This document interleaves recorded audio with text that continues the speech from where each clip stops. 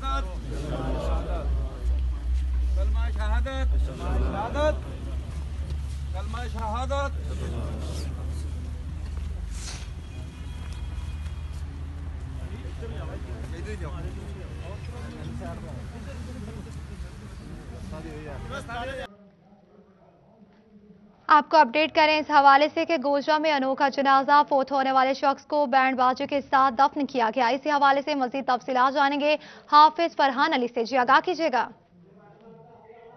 तारीखी गोजरा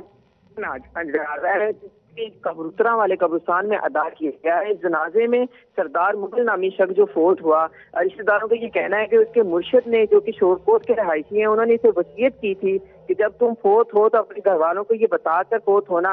वसीयत देकर फोत होना कि अब जब तुम फोत हो जाओ तो तुम्हारा जो जनाजा है उस पर बैंड बाजे बजाए जाए, नोटों की बेले करवाई जाए।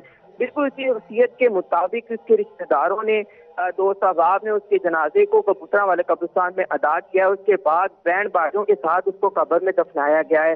शहरों की बड़ी तादाद यहाँ इस मौके पर मौजूद थी जो कि जनाजे में शरीक हुई और सभी वहाँ पर हैरान और परेशान रह गए। ये देखकर कि किस तरह से एक मैयत को गोजरा में पहली बार ये ऐसा वाक्य पेश आया जहाँ पर फोत होने वाले शख्स को बैंड बाजे के साथ और नोटों की बेलें करवाकर इस तरह से पुरजे खाक किया गया है। जी।